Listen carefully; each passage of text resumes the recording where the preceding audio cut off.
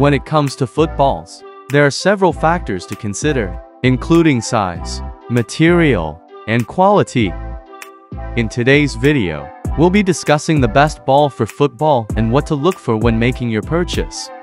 When it comes to footballs, there are several factors to consider, including size, material, and quality. The best ball for football will be one that is the official size and weight, as specified by FIFA. This is important for playability and for use in official competitions. When it comes to material, leather is considered the traditional and premium choice for footballs. It offers a great feel and durability, but it is also more expensive than other materials. Synthetic materials, such as PU, are also popular and offer a more affordable option. Another important factor to consider is the quality of the ball. Look for a ball that is made by a reputable brand and has been tested for durability and performance. It's also a good idea to read customer reviews to get an idea of what other players think of the ball.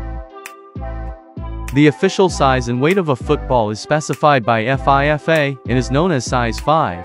For adults, this means a ball that is between 68 to 70 centimeters in circumference and between 410 to 450 grams in weight. For children and youth, there are smaller sizes available such as size 4 and size 3. It's important to note that using a ball that is not the official size and weight can affect playability and may not be allowed in official competitions. When purchasing a football, Make sure to check the size and weight specifications to ensure that you are getting the correct size for your needs. If you're unsure of what size is best for you, consult with a coach or a sales representative who can guide you in the right direction.